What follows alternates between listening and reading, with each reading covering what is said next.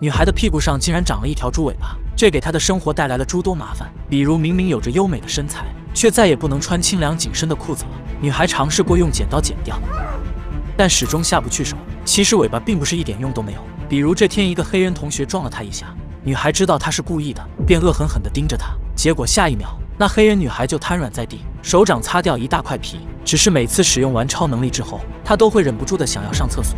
而且每次排干净后，它的尾巴就会变长一点。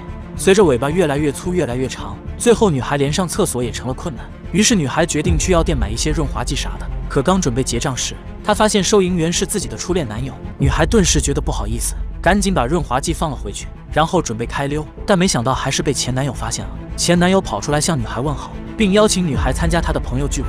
女孩分手后仍然挂念着前男友，所以她并没有拒绝。可当她来到舞会，才发现前男友竟然邀请了所有的同学，这让女孩有些失望。这时前男友走过来告诉女孩，其实今天是两人分手的一周年，他想趁这个机会和女孩复合。女孩突然想到自己尾巴的事，如果被前男友发现自己是个怪胎，那他还会爱自己吗？女孩表示需要时间考虑一下。之后的几天，前男友不停地给女孩发来消息，最终在一番甜言蜜语的攻势下，女孩还是同意了。久别胜新欢嘛，大家都懂得。而就在两人进入尾声时，男孩却突然开始七孔流血。女孩知道这可能是尾巴搞的鬼，她忍不住的蹲在一边开始自责。